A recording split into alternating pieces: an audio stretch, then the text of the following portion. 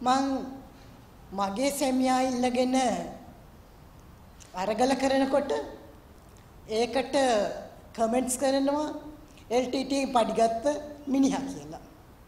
ඒකට මේ රටේ නීතියක් තියෙනවනේ. ඒ නීතියට පුළුවන් දඬුවම් දෙන්න. ඒකෙන් මිනිහෙක් අතුරුදහන් කරගත් එක ඒකෙන් මිනිහෙක් පැහැරගෙන ගිය එක නිවැරදි කරන්න පුළුවන්ද? මේ සමාජය මං දන්නවා ඒ බහුතරයක් නොවන වග ඒ මේ සමාජයේ රාජපක්ෂවාදීන් හැම විටම සිතන්නේ මේ රටේ බලය ඇති කණ්ඩායම් වලට පුළුවන් ඕනෑම මිනිහෙකුට ඕනෑම දෙයක් කරන්න. මෙතනින් එළියට බෑලා යනකොට මාව මරන්නත් පුළුවන්. ඒ මරලා කියයි ආ එයා LTT එකකින් පඩිගත්තනේ කියලා. මේ ඕනම කෙනෙක් දේශද්‍රෝහියෙක් කරන්න එයාට බොහොම සුළු මොහොතයි යන්නේ. ඒ දේශද්‍රෝහියෙක් කිරීම තුලින් මේ රටේ විවස්ථාපිත අයිතිය එයාට නැති කරන්න පුළුවන්ද? මේ රටේ මේ මිනිස්සු හොයපු අපරාධ පරීක්ෂණ දෙපාර්තමේන්තුවේ මිනිසුන් ඒ කියන්නේ නිලධාරීන් මම දැක්කා බොහෝ තැන්වල ශානි අබේසේකර මහත්තයාට ෂර්ලොක් හෝම්ස් කියලා තියෙනවා.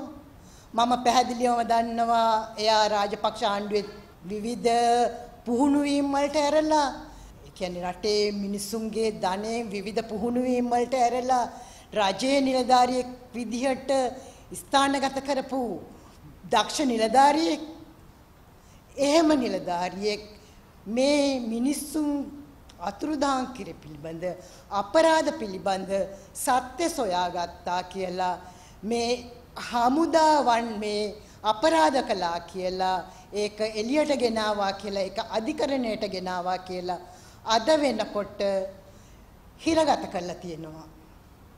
මිනිසුන් හිරගත කිරීමෙන් සත්‍ය වසංගන්න පුළුවන්ද? අපරාධකාරයින් මේ වෙනකොට එළියට දාන තැනකට මේ රජය ගමන් කරමින් ඉන්නවා. පැහැදිලිවම ජනාධිපතිවරයා එයා පත් වෙන්න ඉස්සෙල්ලාම කිව්වා මේ රටේ මේ රණවිරුවන් එයා ඇවිල්ලා පැය 24ක් ඇතුළත එළියට දානවා කියලා.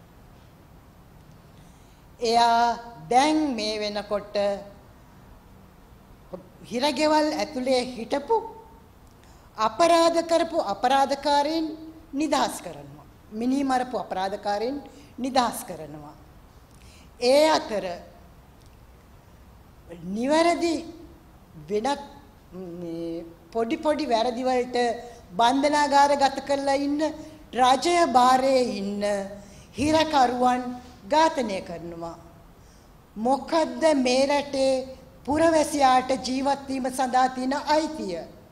රජයේ බාරයේ සිටින මිනිහෙකුත් ඝාතනය කරනවා නම් අතුරුදහන් කළ මිනිසුන් අතුරුදහන් කිරීම නිවැරදියයි. මේ රටේ මිනිසුන් තුල මතවාදයක් පතුරවනවා නම් ඒ මතවාදය පතුරන්න මේ රාජපක්ෂ රෙජිමයම ඒ අයම උල්පන්දම් දෙනවා නම් ඒ අයම ඒ අයගේ කණ්ඩායම් යොදවනවා නම් මොකද්ද මේ රටේ පුරවැසියන්ට තියෙන අයිතිය? අධිකරණයේ ක්‍රියාදාමය. අපි දැක්කා මීට ටික කාලයකට ඉස්සෙල්ලා අධිකරණයට අපහාස කළා කියලා മന്ത്രിවරයෙක් හිරගත කරනවා. අධිකරණයට අපහාස කරනවා කියලා മന്ത്രിවරයෙක් යා කර ප්‍රකාශයට හිරගත කරන අතර අධිකරණයේ ඇතුලේ යකා නටපු අධිකරණයේ කටයුතු වලට බාධා කරපු පුද්ගලයන්ට ජනාධිපති සමාව දෙනවා. අධිකරණයේ ඇතුලේ ගෑනුන්ට අපහාස කරපු මිනිස්සුන්ට ගෑනුන්ට හිංසා කරපු මිනිස්සුන්ට ජනාධිපතිවරුන් සමාව දෙනවා. කොහොමද මේ රටේ අධිකරණය සියලුම පුද්ගලයන්ට සමානව හිමි වෙනවා කියලා කියන්නේ. ඉතින් මේ රටේ විවස්ථාවෙන් තියෙනවා මේ රටේ සියලුම ජනතාවට අයිතියක් තියෙනවා විවස්ථාපිත අයිතියක් තියෙනවා තමන් කැමති ආගමක් හදන්න තමන් කැමති දෙයක් කරන්න භාෂණයේ නිදහස තියෙනවා කියලා ඒක පොතකට විතරක් සීමා වෙච්ච දෙයක්ද? අපි ඒ පොතේ තියෙන ඒ අකුරු ශක්තිමත් කළ යුතු නොවේද? ඒක කරන්න පෙරමුණ ගන්නේ කවුද? අපි දන්නවා මෙහෙ මොහොත වෙන විට මේ රටේ අතුරුදහන් වෙච්ච මම ඇතුළු මේ අතුරුදහන් වෙච්ච පවුල්වල වින්දිතයින්ට ඛේදනීය තත්ත්වයක් උදා වෙලා තියෙන්නේ කියලා. මා ඛේදනීය තත්ත්වයක් කියන්නේ මේ සෞඛ්‍ය හේතුන් මත අද දවසේ මිනිසුන්ට එළියට බහින්න බෑ. ඒ එළියට බැස්සොත් නිරෝධායන නීති උල්ලංඝනය කළා කියලා ගිහිල්ලා හිරගෙදර දාවි. ඒ අස්සේ තමා මේ මිනිසුන්ට අරගල කරන්න තියෙන්නේ වෙලා තියෙන්නේ. වැඩිපුරම මිනිසුන්ට කරන්න සිද්ධ වෙලා තියෙන්නේ තමන්ගේ දුක හිර කරගෙන වැළපෙන එක. ඒක එළියට පේන්නේ මොකද ඒක දකින්න කවුරුවක් ඇත්තෙත් නෑ. බොහොම සීමිත පිරිසක් ඒක දකින්නේ. අනෙක් අය කියන්නේ ඒක ස්වභාව ධර්මයේ නේද කියලා. ඒ කියන්නේ මේ රටේ ආයුධ ගත්ත මිනිසුන්ට નિરાයුධ ඕන මිනිස්සෙක් මරා දාන්න පුළුවන්. ඒකට නඩු ඕනේ මොකද ඒගොල්ලෝ රණවිරුව නිසා. එහෙම වුණොත් මේ රටේ නීතියේ ක්‍රියාදාමයට සහ යුක්තියට කුමක්ද සිද්ධ වෙන්නේ? මම දන්නවා මගේ ගමන මෙතනින් අවසන් නෑ කියන එක. මට මේ මොහොතේ කළ යුතු සහ කළ හැකිම දේ තමයි මම හිතුවේ අපි මේ රටේ දේවල් අපි එකතු කරගත් දේවල් මම මේ රටේ ඇවිදින ගමන් මම දුටුව දේවල් මම මං කළ දේවල් මේ රටේ මිනිස්සුන්ගේ තියෙන විහිළු කතා ටික. විශේෂයෙන්ම මේ රටේ පාර්ලිමේන්තුවේ ඉන්න විහිළුකාරයන්ගේ විහිළු කතා මේ රටේ මිනිස්සු කොයි වගේද කියන එකත් අපිට ජනගත කරලා නැවතත් මිනිස්සු අතරට ගෙනියන්න පුළුවන් කියන එක. ඒක අද දවසේ මා එකතු කරගත් ඒ ගොන්න සමාජගත කරන එක තමයි මම අද කළ යුතු දේ කියලායි මම හිතුවේ. මම කිව්වා අධිකරණය ගැන.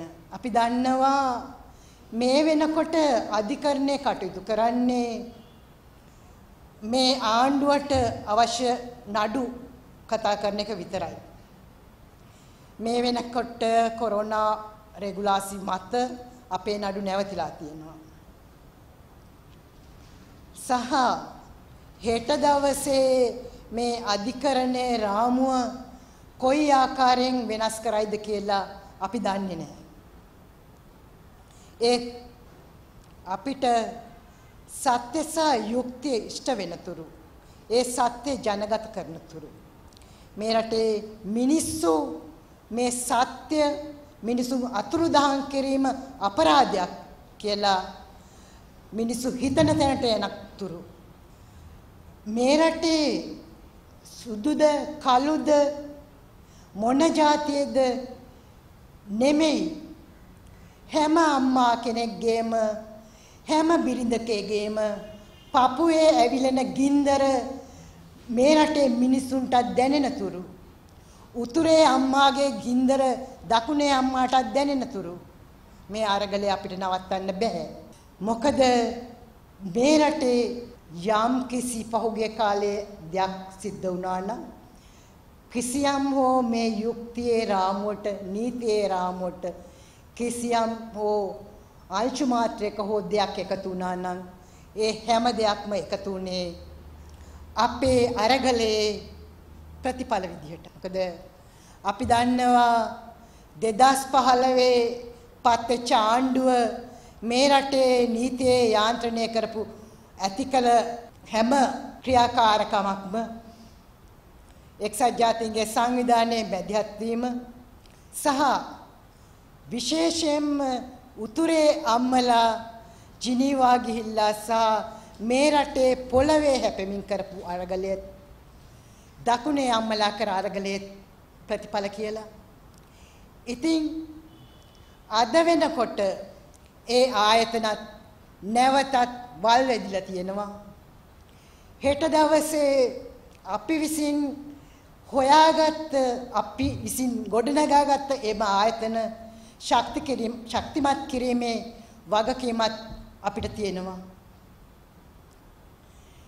මම හිතන්නේ යුක්තයේ යාන්ත්‍රණය කියන්නේ නීති පොත්වල තියෙන නීතිවත් මේ රටේ අධිකරණ ක්‍රියාදාමයේ තුලදී විනිසුරු වලින් ගොඩනගන දේවල්ටත් වඩා මේ රටේ යුක්තිය හොයා යන පුරවැසියන්ගේ අරගලවල පුරවැසියන්ගේ ක්‍රියාවලින් තමා ඒ නීති පොත්වල තියෙන යුක්තිය ශක්තිමත් කරන්න පුළුවන් වෙන්නේ. ඒ යුක්තියට පණ දෙන්න හැකි වෙන්නේ ඒ නීති නීති පොත්වල තියෙන නීතියෙන්ට පණ දෙන්න පුළුවන් වෙන්නේ අපේ ශක්තියේ අපේ අරගලයේ ශක්තියක් තුලින් කියලා. මම හිතනවා මේ ආපු අරගලයේ මාවත මගේ අරගල මාවතකට වඩා එක පාරමිතාවක් කියලා. මගේ සැමියා වෙනුවෙන් මා කළ පාරමිතාවක් කියලා. මගේ මේ පාරමිතාවේට පාත්‍ර වූ මට පේන මේ සියලුම මූණු මගේ පිටිපසෙන් මගේ ඉස්සරහෙන් මා දෙපසින් හිටපු සියලුම දෙනා ඔගලන්ගේ ධෛර්යය මාව ධෛර්යමත් නොකරන්න මේ ගමන මා වල් වැදෙන්න තිබුණා. මා හුදකලා වෙන්න තිබුණා. ඒ වගේම අද මෙතන නැතත් මගේ දරු දෙන්නා මට ශක්තිමත් ශක්තියක් වුණා. දරු දෙන්නා මා ඇතහැරියේ නෑ. දරු දෙන්නා තාත්තා ඇතහැරියේ නෑ. අවසාන වශයෙන් රාජපක්ෂලාට එකම කාරණයක් කියන්න මං කැමතියි. නුඹලා ප්‍රගීත් එක්ඩැලි ගොඩ කියන මිනිසා නැති කලත් ඒ මිනිසාගේ ඥාන ඒ මිනිසාගේ නිර්මාණ ඒ මිනිසාගේ සිතිවිලි ඒ මිනිසාගේ ගොඩනගපු දේ හෙට දවසේ ප්‍රගීත්ගේ දරුවන් දිගටම ගෙන යාවි. The News Reporter වාරණයෙන් තොර අපක්ෂපාතී වාර්තාකරණය